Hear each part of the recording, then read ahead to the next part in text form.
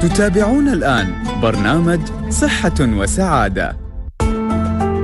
للمشاركة في البرنامج يرجى الاتصال على الرقم 600 55 14 14 أو عبر الرسائل النصية القصيرة SMS 4006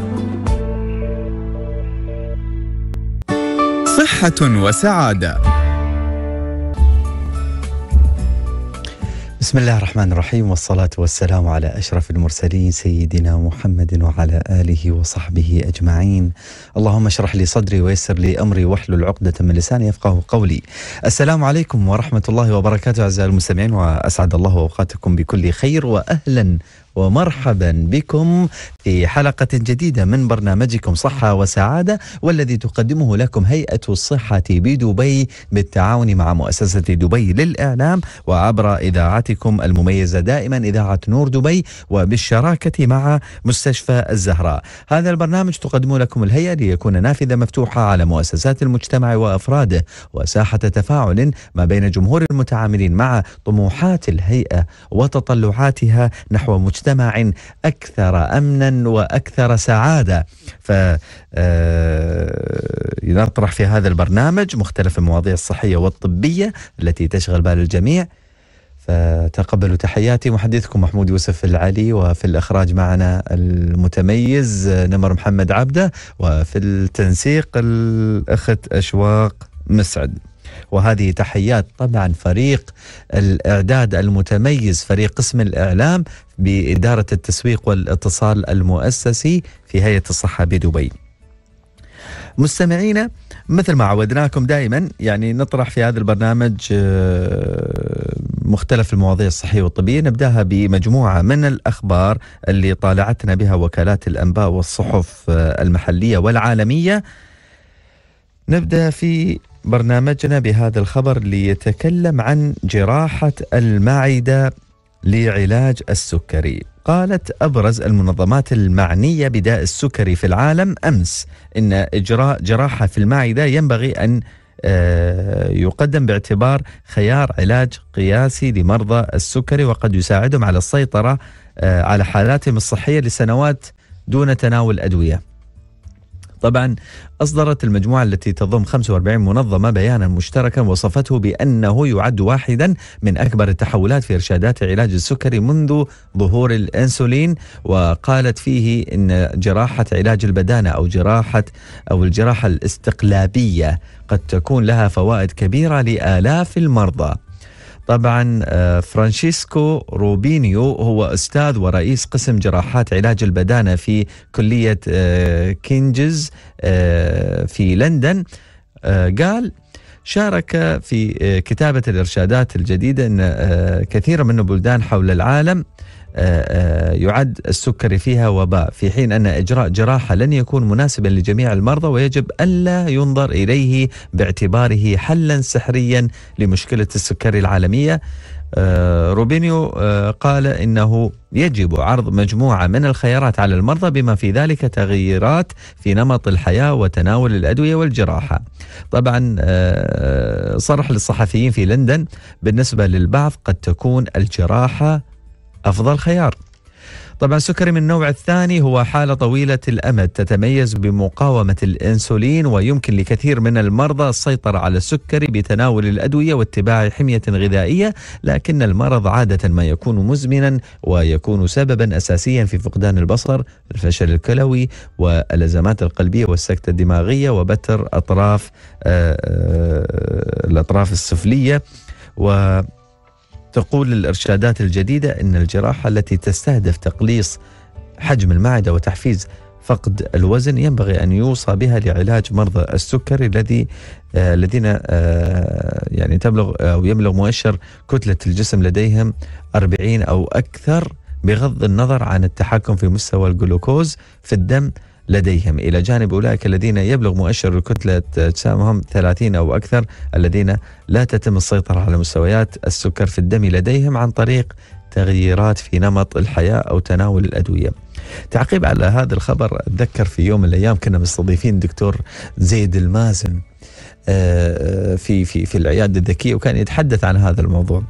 شوية الدكتور وزنه شوية زايد ف ونحن نصورة في الفريسكوب طبعا التعليقات كلها كانت تي آه هذا الدكتور آه هو شو اسمه يعالج السمنة ويسوي العمليات هذا وهو روحه سمين فكان يتكلم الدكتور يقول أنا عندي آه، يعني آه، السكري موجود عندي لكن آه، لازم أسوي العملية بعد. هو كان كان يتحدث عن إن أنا لازم أسوي العملية. فالفكرة وين؟ الفكرة إن الدراسة هذه تقول أن هاي العملية وايد مهمة وضرورية وينصحون بها لمرضى السكري. حتى الدكتور قال نفس الشيء بعد. قبل لا تطلع هاي الدراسة الكلام من سنة. إذا نوجه هذه التحية للدكتور زيد. الله يحفظه يا رب. عموما خبر ثاني يقول عدوى بكتيرية وراء فقدان الشهية. توصل علماء في جامعة لانكستر بالتعاون مع باحثين من مستشفى جامعة موركاب البريطانية إلى نظرية جديدة مفادها أن عدوى بكتيرية تتسبب في اضطراب جهاز المناعة البشري الأمر الذي يقود إلى مهاجمة الدماغ وشعور الشخص بفقدان الشهية. وذكر العلماء أن فقدان الشهية هو من نفس العائلة عائلة أمراض آه، مثل متلازمة القولون العصبي ومتلازمة التعب المزمن. وقالوا إن النساء أكثر سرعة في التأثر بالأمراض التي تصيب المناعة الذاتية مثل فقر الدم الخبيث عندما يهاجم نظام المناعة الخلايا الصالحة في الجسم. وأضافوا أن النساء أكثر عرضة من الرجال لفقدان الشهية عشرة مرات كما هو الحال مع مرضى متلازمة القولون العصبي ومتلازمة التعب المزمن. آه الكهرباء تساعد في التعافي من السكتة القلبية. آه على طار السكتة القلبية أنا أبغي آه أيضا أشير مستمعينا أن الهيئة آه في حساباتها على التواصل الاجتماعي اللي هي DHA underscore دبي بالأمس أطلقت وسم آه أقوى من التصلب المتعدد. أقوى underscore من underscore التصلب underscore المتعدد. هذا بمناسبة أن اليوم هو آه، يوم آه، مرض التصلب اللويحي المتعدد. اللي يبغي يتعرف أكثر على هذا المرض ويبغي يشارك معنا في هذا ال ال في هذه الحملة اللي, اللي, اللي سوتها الهيئة على التواصل الاجتماعي ممكن أنه يستخدم هذا الوسم سواء على الإنستغرام أو حتى على تويتر. فنتمنى منكم المشاركة. في هذا الوسم عموما نرجع لخبرنا. يقول توصل فريق بحثي طبي في جامعة أكسفورد البريطانية إلى أنه يمكن لتحفيز المخ بتيار كهربائي أن يساعد في عملية تعافي المصابين بالسكتة الدماغية. وتوصل الفريق العلمي إلى أن المرضى الذين تعرضوا للتحفيز الكهربائي إلى جانب جلسات أو جلسات إعادة التأهيل حققوا نجاحا أفضل ممن خضعوا للجلسات وحدها. وشهد متطوعون خضعوا للعلاج الكهربائي تحسنا أكبر عند تحريك أذرعهم كما شعر آخرون بسهولة أكبر في القيام بمهامهم اليومية. وأجريت الدراسة التي نشرت في دورية Science Translational Medicine على تو... آه، يا بقول 24 بعد. على 24 شخص آه، كانوا قد أصيبوا بسكتات دماغية بما لا يقل عن ستة أشهر قبل أن تبدأ التجربة وما زالوا يواجهون صعوبات عند تحريك أذرعهم وأيديهم. ووجد أحد المرضى على سبيل المثال أنه يستطيع تناول الطعام بنفس السهولة آه، أو بسهولة أكبر بعد العلاج وشعر آخرون بالتحسن في القدرة. على رفع الأشياء والإمساك بها والوصول إليها، لكن مستويات التحسن تباينت إذ يعتمد ذلك جزئيا على شدة السكتة الدماغية الأولية. قال باح... آه، أو كبيرة الباحثين آه، في الدراسة آه، جوهانس بيرغ والله اسمها اسم مدينة قالت إيه اسمها مثل مثل مدينة في جنوب أفريقيا جوهانسبرغ زين ما أدري الحين أنا أتصور يمكن سبحان الله الأسامي تتشابه. المهم قالت كبيرة الباحثين في الدراسة جوهانسبرغ إنها سعيدة بالنتائج وتعتقد أن العلاج نجح من خلال تعزيز قدرة المخ على إعادة نشاطه بعد السكتات الدماغية لكنها شددت على أنها على أن هناك حاجة إلى المزيد من التجارب وتقييم الفوائد والتكاليف قبل إمكانية تقديم البرنامج في المستشفيات. على طاري الاسامي آه، نمر يعني في عندنا ترى آه، يعني عدد من البنات سموهم دبي. ف اي أنت سميت بنتك دبي؟ ما شاء الله لا والله ما أدري سميتها نور دبي ما شاء الله تبارك الرحمن. هذا توني أنا أعرف والله. آه، نمر يقول لي إن سمى بنته نور دبي. يا أخي شو هالولاء الجميل هذا عمرها الحين ثمان سنوات. هي مولودة مع انطلاقة القناة ولا شو؟ اليوم الاتحاد. ما شاء الله تبارك الرحمن. الله يحفظها إن شاء الله تكون من الذرية الصالحة ويحفظ لكم آه، جميع أبنائكم وإن شاء الله دائما ما يكونون بصحة وسعادة. وخلونا يا مستمعينا يا كرام نطلع لهذا الفاصل ومن ثم نرجع لنستكمل مواضيعنا الأخرى. صحة وسعادة.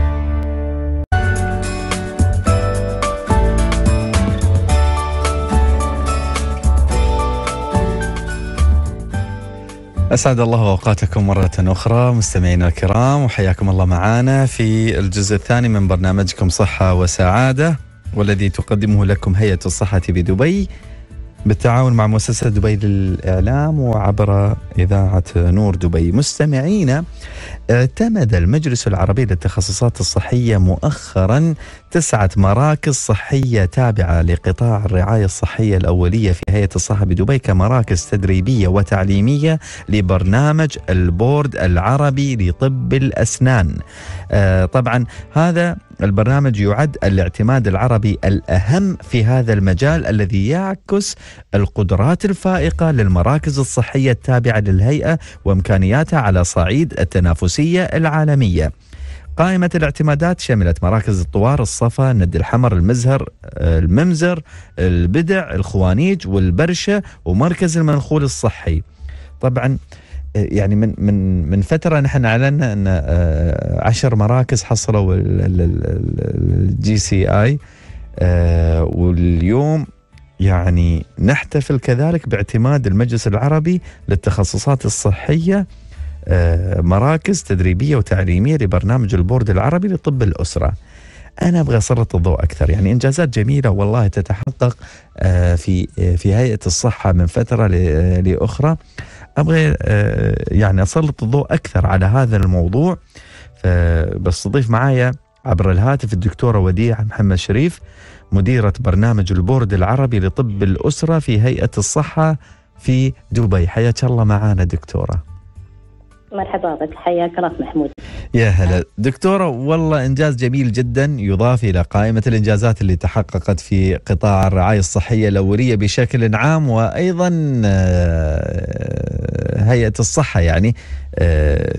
تماما قاعد تحقق مجموعة إنجازات وإعادة اعتمادات وأيضا اعتماد مراكزنا الصحية كمراكز تدريب لبرنامج ال Board العربي لطب الأسرة أعتقد أن هذا إنجاز كبير أن تسع مراكز موجودة معانا في هذا المجال. أول شيء دكتورة قبل لا نخوض في تفاصيل هذا الحوار خلينا نعرف الجمهور اللي اللي مش أطباء اللي ما يشتغلون في السلك الطبي شو هو هذا البرنامج؟ شو يعني برنامج ال Board العربي لطب الأسرة؟ نعم يعطيك العافية. ومثل ما ذكرت في المقدمة آه يعني هي الحين حاليا هذا كان عبارة عن برنامج اعتمادي أكاديمي. يمكن استفصل فيه في البداية انه كيف أعتمد المجلس العربي. مثل ما ذكرت المجلس العربي هي للتخصصات الصحية. اعتمد مؤخرا لاعتراف بتسع مراكز صحية. آه هالمراكز الصحية تابعة لقطاع الرعايه الصحية الأولية في هيئة الصحه بالبيت اعترف فيها كمراكز تدريبية تعليمية يعني لبرنامج البورد العربي. إحنا طبعا لطب الأسرة. وشمل الاعتراف مثل ما ذكرت ست مراكز صحية لإعادة اعتراف وثلاث مراكز صحية جديدة انضمت إلى قائمة الاعتراف. الست مراكز صحيه اللي كانت معترفه فيها سابقا هي آه، الطوار والصفا المنزر البدع والخوانيج والمنخول آه، وهي كانت كإعادة اعتراف ولا انضمت اعتراف جديد مراكز صحية جديدة اللي هي مركز البرشا والمزهر والند الحمر. طبعا هذا هذا الاعتراف بناء على زيارة قامت فيها لجنة الاعتراف التابعة للمجلس العربي للاختصاصات الصحية اللي هو طبعا المجلس هذا تابع لمجلس وزراء الصحة العرب. آه، اللي يضم 22 آه، دولة عربية. ولله الحمد كان هذا يعكس التطور الكبير لشد قطاع خدمات الرعايه الصحيه الأولية. مثل ما ذكرت already الحمد لله الأسبوع اللي طاف إحنا آه، أعلن عن حصولنا على اعتماد ال JCIA وهذا اعتماد دولي للمنشآت الصحية. والحين هذا اعتماد عبارة عن اعتماد أكاديمي للمراكز الصحية. وإذا أحب شوي أذكر عن البرنامج. تفضل البرنامج. نعم برنامج البيت التدريبي لطب الأسرة. اللي تابع لإدارة التعليم الطبي ويعد تقريبا من افضل البرامج على مستوى الدولة. ابتدى البرنامج في 93 ثلاث مراكز صحية وكذلك ابتدى تطبيق برنامج امتحان الزماله البريطانيه اللي هي من الكليه الملكيه البريطانيه ومقرها حاليا في دبي في 2006. وتقريبا حس يعني حصل عدد يعني بلغ عدد الأطباء الخريجين من البرنامج 138 حتى نهاية العام الماضي وحصلوا آه، تقريبا من المتخرجين على شهاده ال Board العربي هذا 119 يعني بلغ عدد الحاصلين على شهاده ال Board العربي من المتخرجين 119 لله الحمد. ما شاء الله. و... أيوه أود الصراحه بعد آه، في هذا المقام يعني أشيد فوز دولة الإمارات لله الحمد مؤخرا ممثله هيئه الصحة بالدبي في انتخابات آه، عضوية المجلس. اللي هي انتخابات عضوية المجلس العربي ضمن اللجنة المشرفة على امتحانات البورد على مستوى الوطن العربي اللي مثل ما قلت يضم 22 دولة عربية ولله الحمد هذا يعكس الثقة بالمستوى الطبي المتطور اللي وصلنا له كدولة في مختلف التخصصات. والاعتماد الاكاديمي هذا يشكل طبعا يعني ينعكس بشكل إيجابي كبير على كل مراكز الهيئة لأن بالإضافة لكونه مركز تقديم خدمات صحية يكون مركز أكاديمي لتدريب أطباء في مختلف التخصصات ومنها تخصص طب الأسرة. طبعا هذا يعزز سمعة المراكز في قطاع الرعايه الصحية الأولية لأنها تعتمد على اعلى معايير الجودة آه، جودة التدريب المعتمد سواء كان من قبل المجلس العربي ولا الكلية الملكية البريطانية. وطبعا الحمد لله اليوم إحنا عندنا المرضى يعني آه، يولي المراكز الصحيه هم على مستوى ثقافة عالية لذلك إن هذا الاعتراف يساهم في رفع نسبة رضا المتعاملين المتعاملين ولأن المرضى اليوم على مستوى مثل ما قلت ثقافة عالية بالتالي آه، لما تكون عند المراكز الصحيه معتمدة سواء كانت كمنشآت صحية ولا كانت من آه، ناحية التدريب والتعليم هذا يعزز آه، الثقة ويأكد طبعا الحمد لله على مبدأ التطوير المستمر سواء للمعلومات من قبل الدكاتره أو المهارات الطبية، بالتالي يعني هم يكونوا على درايه بأحدث الأساليب الوقائيه والعلاجية وهذا يعزز مثل ما قلت ثقة المرضى. جميل. آه هذا بشكل مختصر ما شاء الله عليك دكتورة يعني آه خليتك تسترسلين ما ما قاطعتك لأن شطبتي على كل المحاور اللي عندي. بس أبغي أسأل الآن دكتورة بعض الأشياء شوي بعيدة عن الموضوع. أبغي أبسط المسألة وايد حق المستمعين. آه شو نعم. هو مفهوم طب الأسرة؟ لما نحن نتكلم عن طب الأسرة شو هو طب الأسرة؟ طبعا تخصص طب الأسرة مثل ما قلنا هو تخصص آه، يخدم آه، الجانب الوقائي كذلك الجانب العلاجي.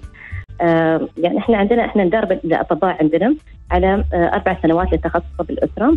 الأربع سنوات هذه في أول سنتين ونص هم يعني يندرجون في جميع المساقات الطبية الموجودة في المستشفيات شو هي هذه المساقات دكتورة؟ أنا ابغي ليش سالت هذا السؤال؟ لأن في عندنا ما شاء الله نعم. يعني مجموعة من المستمعين اللي هم من كبار السن أو كذا آه، نحاول نوصل لهم المعلومة بشكل بسيط فاذا إذا بقول حق حق آه، يدي ولا أبوي آه، بشرح له طب الأسرة شو ممكن أقول له؟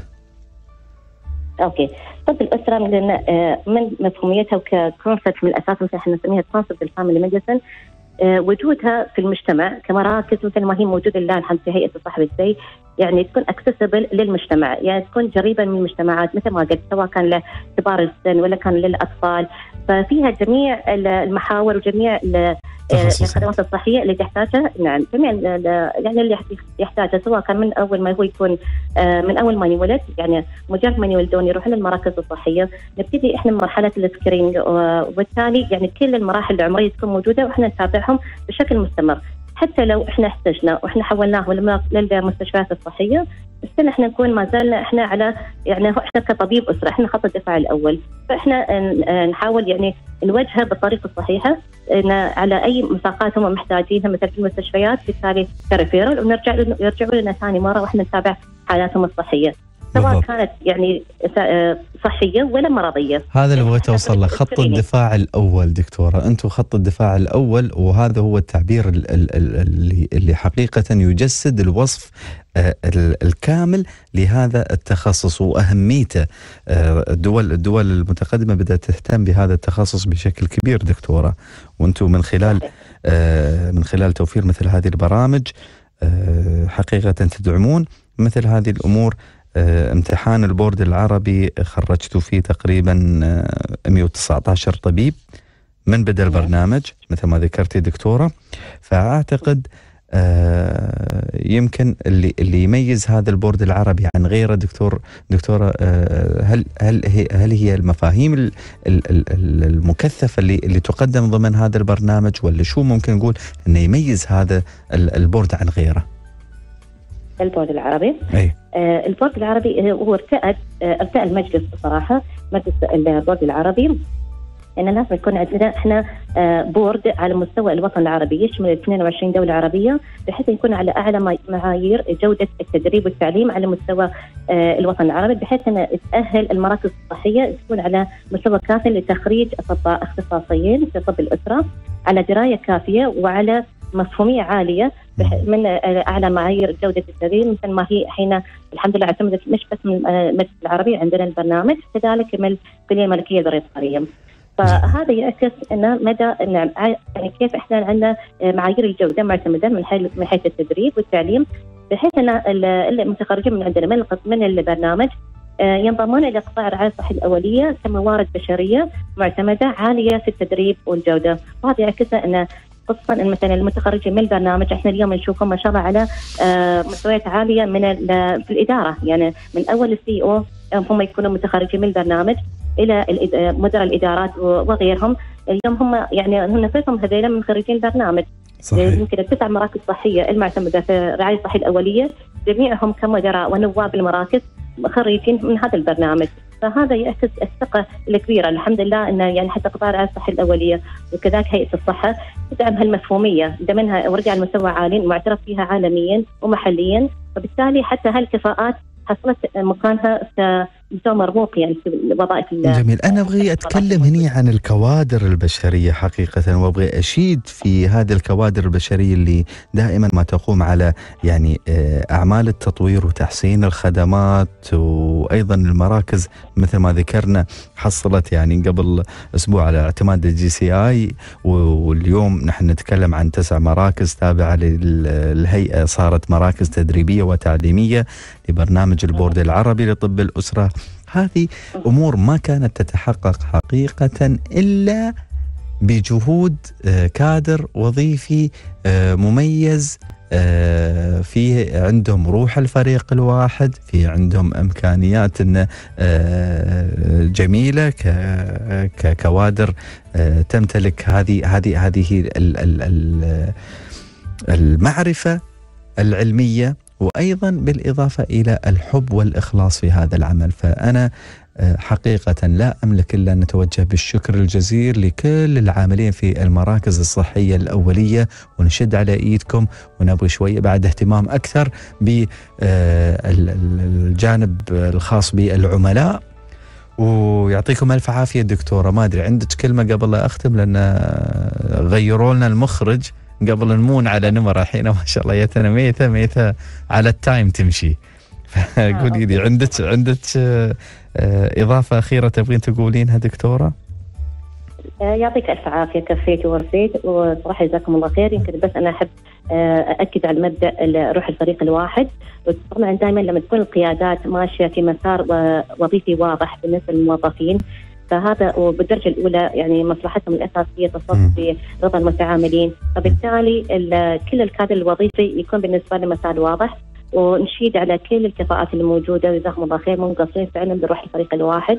يمكن هذا الزمن آه الحمد لله الكفاءات والاعتمادات اللي وصلت في هالفترة سواء كانت الاعتماد الدولي ال JCI ولا كان الاعتماد الأكاديمي اللي هو من قبل المجلس العربي. تزامن مع اليوم العالمي لطبيب الأسرة هذا كان 19 5 من الخميس اللي طاف. والحمد لله مستمرة يعني الحملات التوعوية ولا آه، بالنسبة للمتعاملين والمرضى الموجودين في المراكز الصحية خلال هالأسبوع ليوم الخميس اللي هو باكر إن شاء الله. فالحمد لله أنا يعني هذه تزامنت هالأحداث مع اليوم العالمي بالتالي آه هذا يعني يعزز مكانة طب الأسرة وإن شاء الله دائما يكون في خدمه المتعاملين. دكتوره وديعه محمد شريف مدير برنامج البورد العربي لطب الأسرة في هيئة الصحة في دبي نحن شاكرين لك هذه المداخلة وشاكرين لك وقتك وسامحينا طلعناك أعتقد من محاضرة وعندك ورشة شيء كذا. امتحان امتحان الله يعينك.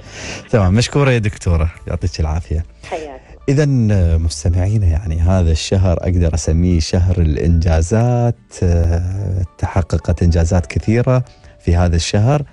يمكن بستعرضها لكم بس عقب الفاصل لأن برجت بعينها الحين ميتة فاصل مستمعينا وأرجع لكم.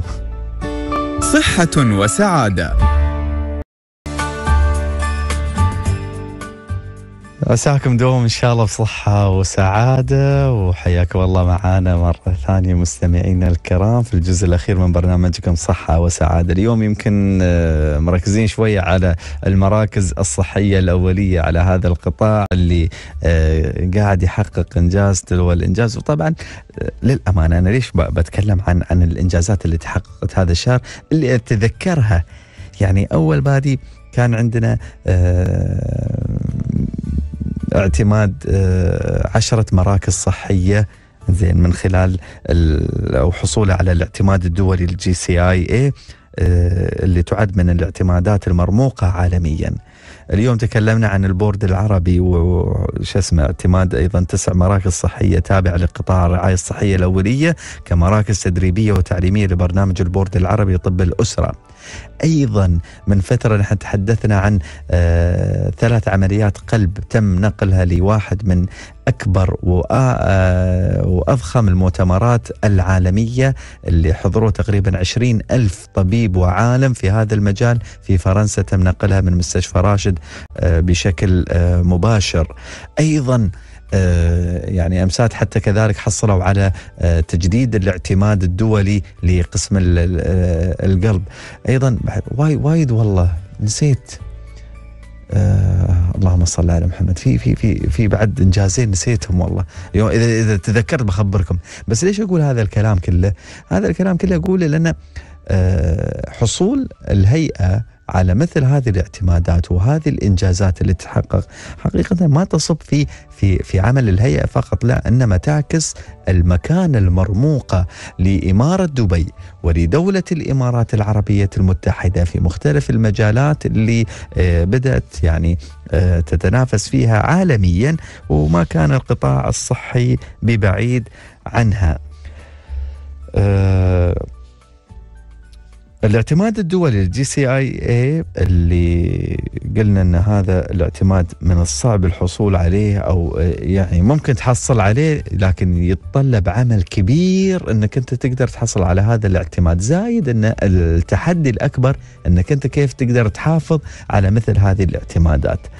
آه، في من المعايير المهمة اللي يهتمون فيها اللي هي معايير الأمن والسلامة. وأيضا هيئة الصحة يعني وايد تولي هذا الموضوع بشكل كبير يعني أهمية آه، قصوى ليش؟ لأن آه، من بين من بين الأمور والاشتراطات الكبيرة اللي يجب أن تاخذها بعين الاعتبار هي الأمن وسلامة المنشآت، هني أنا أبغي أستضيف معاي يعني وأرحب معاي حقيقة بأخوي الأستاذ جاسم محمد العلي رئيس قسم الشؤون الإدارية رئيس لجنة أمن وسلامة المنشآت في قطاع الرعاية الصحية الأولية، أول شيء حياك الله معانا أخوي جاسم ومثل ما ذكرنا نحن إن هذه اللجنة لها آه، دور كبير. كان في آه، أيضا المساهمة في الحصول على الاعتمادات اللي آه، الاعتماد اللي ذكرناه من شوية. فخلنا نأخذ المستمعين ب جولة سريعة في مهام لجنة أمن وسلامة المنشآت في قطاع الرعاية الصحية الأولية. أحيي أخوي محمود وأشكرك على اللقاء. فصراحة إحنا لا يخفى علينا أن مهام لجنة أمن وسلامة المنشآت تعتبر هذه اللجنة من اللجان الرئيسية في آه، من ضمن لجان اعتمادات الاعتمادات الدولية. وإذا طرقنا عن مهام اللجنة اللجان هذه طبعا آه، اللجنة ماشية على خمس خطط اللجنة خطط رئيسية. فالخطة الأولية اللي هي نحن عبارة عن السلامة من الحريق سلامة المراجعين المرضى كل طرق السلامة اللي تحافظ على المرضى وهذا من المراجعين من آه، إذا في حالة نشوب حريق لا قدر الله في المبنى ولا. النقطة الثانية عندنا اللي هي نسميها السلامة من المعدات الكيماوية اللي موجودة من اللي تحضر عن طريق شركات النظافة وهذه تخزينها وين نضعها وكيف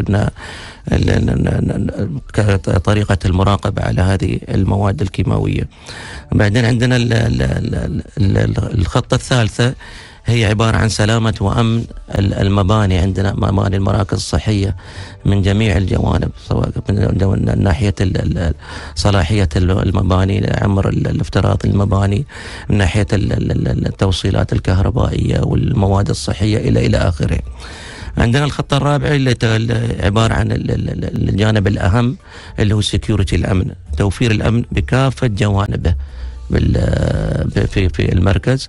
أو جميع المراكز. هذا اللي خلانا نحن نتعاقد مع شركات شركات أمن ونخضع لتدريبهم ومن جميع النواحي. تدريبهم في كيفية التصرف أثناء نشوب حريق كيفية التعامل مع المراجعين أو المرضى في أثناء زياراتهم للمراكز الصحية. وأيضا كيفية تدريبهم على أمن المراكز سواء كان من خارج المركز أو داخل المركز أو من أعلى المباني المراكز هذه بشكل عام. والخطة الخامسة هي عبارة عن الخطة الخاصة بالأمور الهندسية الأمور الهندسية طبعا تتطرق إلى جانبين، الجانب الأول الجانب الخاص بصيانه المباني والجانب الخاص بالأمور الكهربائية إلى آخره. والجانب الثاني من الهندسة اللي خاص بالمعدات الطبية، مدى الحفاظ على هذه المعدات الطبية، صلاحياتها، التشيك الدائم على الورنتي مالها، على إلى إلى إلى آخره. جميل. أنا بحاول أخذ تفاصيل يعني كل كل نقطة ذكرتها بشكل أو بآخر أخوي جاسم. خلني أبتدي يعني أنا اللي شد انتباهي شوية المواد الكيمياء الكيماوية وتخزينها. وأيضا آلية التخلص منها هذه تتبع للجنة اللي أنتم ماسكينها. فأبغى أتكلم يمكن هذه تعطي شوي خصوصية مختلفة أكثر عن باقي المباني الغير صحية أو الغير طبية. يعني آه، موضوع أمن الأمن آه، الحفاظ على سلامة المنشآت وكذا هذا موجود في كل مكان. لكن المواد الكيماوية تخزينها آلية التخلص منها آه، كيفية الحفاظ عليها أصلا. هذه النقطة يا ريت شوي تشرح لي عنها. طبعا شركات النظافة غالبا لما تيجي تتعاقد مع شركات النظافة تجلب معها مواد اللي هي الكيماوية اللي خاصة بنظافة المباني والمرافق الصحية اللي موجودة في فطبعا المواد هذه إحنا ارتئينا أن نضعها في مكان مخزن خاص في آه، المركز. والمخزن هذا عبارة عن خزانة خاصة ومقفله تقفل عن طريق وتفتح عن طريق ال supervisor أو المشرف اللي هو الخاص بذلك. في حالة إن احتياجهم لأي آه، مادة من هالمواد الكيماوية طبعا يفتح أو تفتح الخزانة عن طريق المشرف هذا وفي label موجود على الخزانة اللي شو نوع المادة الكيماوية هذه اللي استخدمها أو أخذها من الخزانة هذه ورجعها مرة ثانية مدون عليها التاريخ والوقت وكل شيء. وحين الانتهاء من المادة هذه طبعا تؤخذ عن طريق الشركة نفسهم وتدون هناك إن المادة هذه انتهت الحين وخلصت وخلاص ويجيبون وراح يأتي أو يحضر مكانه مادة ثانية وتسجل مرة ثانية عندها.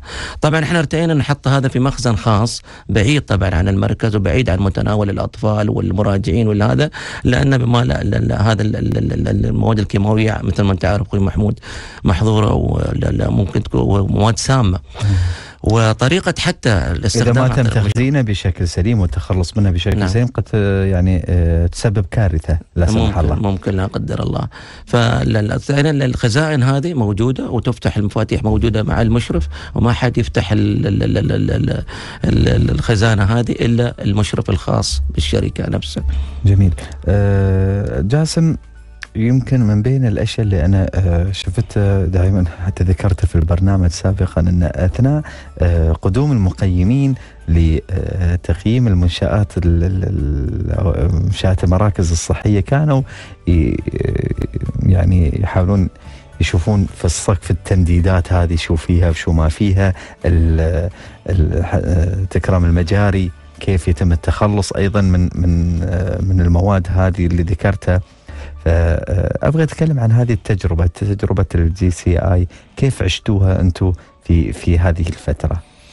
شوف خوي المقيم هو جاب عسى يقيمك أنت. وهذا طبعا آه، من واحد يعني واحدة أو إحدى مهامة انه يشيك على الأمور هذه كلها. فنحن ارتأينا من قبل أن ناخذ جميع الاحتياطات اللي خاصة بسلامة المبنى وسلامة المراجعين من هذه النواحي. أي مش عشان المقيم عشان الناس. نعم طبعا عشان المراجع لأن إحنا عندنا المراجع هو في المقام سلامة المراجع من من دخوله للمركز الصحي لحين خروجه أهم عندنا من أي شيء آخر.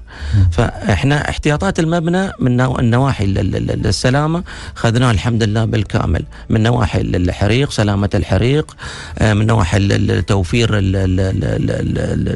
ال pipe ات الخاصة وال hose hose الحريق سلندرات الحريق ال fire extinguisher المحطوطة في كل المراكز الصحية ال check عليه عن طريق الشركة ال label ات اللي محطوط عليها وأيضا فوق هذا وفرنا CCTV cameras اللي موجودة في كل اللي على أساس نوفر جميع احتياطات الأمنية في كل مركز. هني جاسم أبغي أتذكر أنتم في أكثر من مرة سويتوا آه، مثل تجارب آه، معينة مع تعاون إيه الدفاع المدني. مع الدفاع المدني. نعم. نعم طبعا إحنا في كل مركز حاولنا طبعا على أساس ندخل من ضمن النقاط الخاصة بالاعتماد الدولي تدريب الموظفين في حال حدوث حريق لا سمح الله.